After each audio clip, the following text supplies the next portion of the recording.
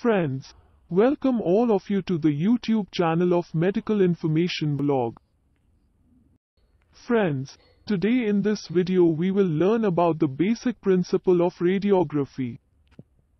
Basic principles of radiography patient care The radiographer, technologist, is an important member of the healthcare team responsible for providing the radiologist and the patient's referring physician with radiographs of the highest diagnostic quality.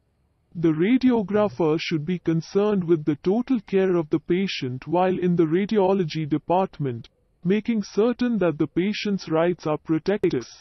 The American Society of Radiologic Technologists has developed a code of ethics to guide radiographers in their professional conduct relating to patients, colleagues, and other members of the health profession.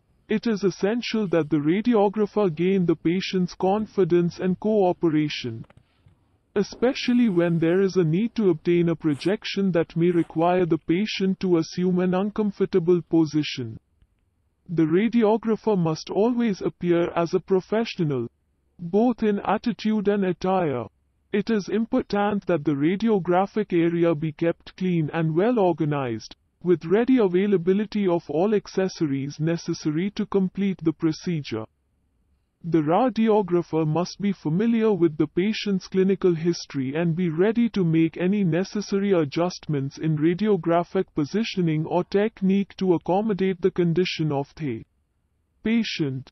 Because patients are understandably apprehensive about undergoing radiographic procedures, the radiographer must be able to converse intelligently with the patient concerning the radiographic procedure to be performed and must be comfortable in answering any questions concerning the procedure or the preparation for it.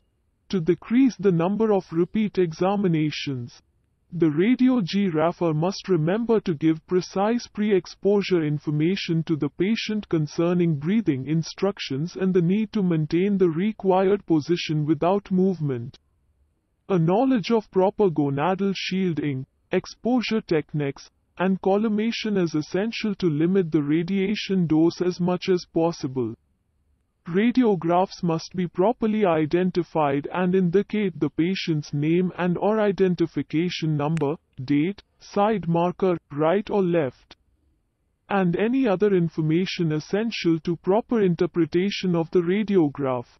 To prevent injury, the radiographer must assist the patient to and from the radiographic table. All articles of clothing and jewelry should be removed from the area to be radiographed so that they do not cause artifacts. The patient must be properly gowned and covered to protect privacy. When dealing with injured, paralyzed, or unconscious patients, the radiographer must be aware of proper lifting and moving techniques and obtain adequate assistance. For protection of both the patient and the radiographer, to prevent the spread of infection or self-infection.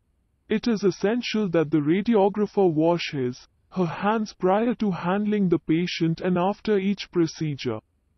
For the patient's peace of mind, the patient should obscrub the hand washing if possible or at least be made aware of it by having the radiographer enter the area while obviously drying his her hands with a clean towel. The radiographer should be familiar with the departmental procedures referring to the examination of infectious patients in isolation. Friends, if you are visiting our channel for the first time then subscribe our channel and share with your friends.